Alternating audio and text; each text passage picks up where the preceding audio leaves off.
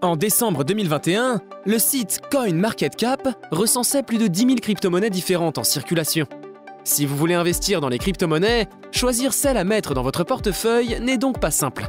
Votre choix est subjectif et varie en fonction de votre amour du risque et de vos objectifs de gain. Mais il existe toujours un équilibre que vous pouvez atteindre pour protéger vos investissements, tout en maximisant votre rendement sur le long terme.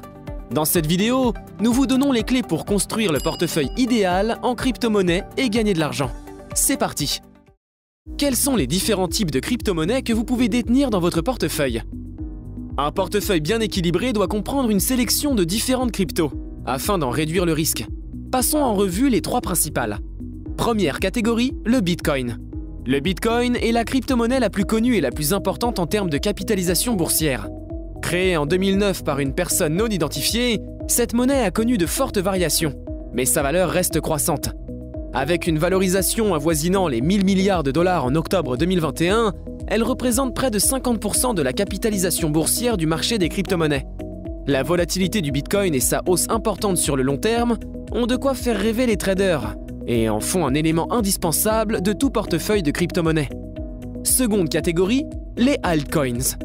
Les altcoins sont tout simplement les crypto-monnaies autres que le Bitcoin. Ce sont des crypto-monnaies alternatives, d'où leur nom. Une partie des altcoins ont le même fonctionnement que le Bitcoin.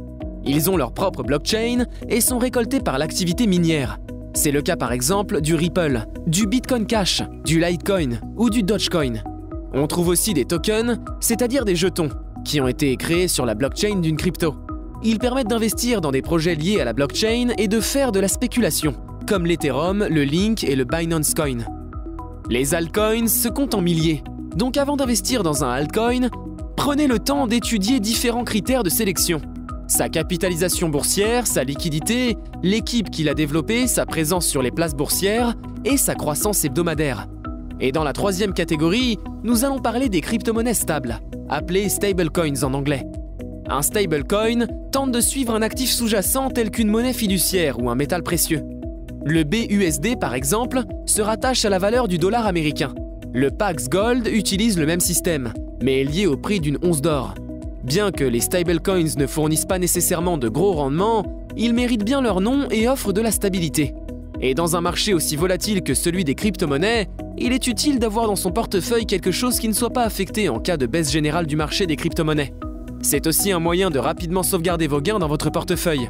Convertir en monnaie fiduciaire est un processus beaucoup plus long que l'échange contre un stablecoin, qui se fait de façon quasi instantanée. Comment construire un portefeuille cryptographique idéal? Chaque trader fait ses propres choix en matière de portefeuille, mais il existe quelques règles générales qui méritent d'être prises en compte. Règle numéro 1, répartissez votre portefeuille entre les investissements à haut, moyen et faible risque, et donnez-leur des pondérations appropriées. Votre profil de risque déterminera ce qui vous convient le mieux, mais il doit y avoir un certain mélange. Par exemple, vous pouvez répartir votre portefeuille en 40% en Bitcoin et Ethereum, 30% de stablecoins, 30% d'altcoins. Le Bitcoin et l'Ethereum dominent actuellement le marché de loin, car ils représentent 75% de l'industrie des cryptos. Règle numéro 2, envisagez de détenir quelques crypto-monnaies stables pour contribuer à la liquidité de votre portefeuille. Les monnaies stables sont la clé de nombreuses plateformes de financement décentralisées, qu'on appelle les DeFi. Elles peuvent donc vous aider à verrouiller rapidement et facilement vos gains, ou à sortir d'une position. Règle numéro 3, rééquilibrez votre portefeuille dès qu'il est nécessaire de le faire. Le marché des crypto-monnaies est très volatile, et vos décisions doivent s'adapter à l'actualité. Par exemple, en ce moment, Avalanche, Terra ou Solana ont de belles performances. Ces blockchains de nouvelle génération viennent concurrencer les crypto-monnaies actuellement en tête de classement. Solana, lancé en 2020, offre des solutions de financement décentralisées à grande échelle et a déjà atteint la cinquième place du classement des crypto-monnaies. Avalanche a une capitalisation qui ne cesse d'augmenter et a intégré Coinbase en septembre 2021. Règle numéro 4. Allouez tout nouveau capital de manière stratégique afin d'éviter de miser trop sur une seule zone de votre portefeuille. Si vous avez récemment réalisé de gros gains avec une crypto-monnaie, il est très tentant d'y investir plus d'argent. Restez stratégique et gardez la tête froide. Règle numéro 5. Faites vos propres recherches. Ce conseil classique est vraiment incontournable. Vous investissez votre propre argent, alors ne vous fiez pas uniquement aux conseils des autres. Vous aurez accès à de nombreuses informations sur les sites Bitcoin Talk, Coindesk, CoinMarketCap et Cyberfun notamment. Règle numéro 6. N'investissez que ce que vous pouvez vous permettre de perdre. Votre portefeuille n'est pas correctement équilibré si vous vous sentez stressé à son sujet. Vos positions ne doivent pas avoir de conséquences sur votre quotidien si les cours descendent pendant une période donnée. Combien de crypto-monnaies avoir dans son portefeuille? Répartir son capital sur différentes cryptos est une norme pour les investisseurs, mais ça présente des avantages et des inconvénients. Comme nous l'avons déjà mentionné, un des avantages principaux c'est de réduire le risque global et de s'adapter à la volatilité du marché. Les pertes peuvent être compensées par des gains et ça vous permet de maintenir votre position stable. Votre portefeuille multiplie ses opportunités de gains avec chacune des cryptocurrencies que vous possédez. Tous les investissements ne seront pas gagnants. Mais avec une répartition et une diversification appropriée des actifs, vous avez beaucoup de chances de réaliser des bénéfices à long terme. Mais plus votre portefeuille est diversifié, plus vous avez d'éléments à maîtriser. En plus, si votre portefeuille est composé de différentes crypto-monnaies, vous devrez peut-être aussi utiliser plusieurs plateformes d'échange pour accéder à vos actifs.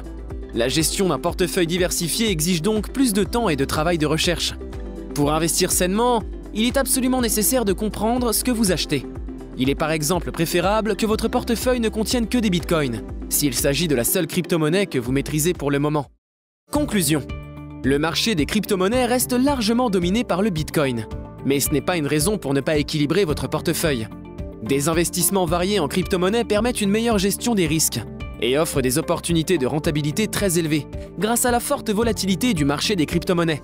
Diversifier votre portefeuille de crypto-monnaies en y intégrant des altcoins et des stablecoins est donc une stratégie recommandée.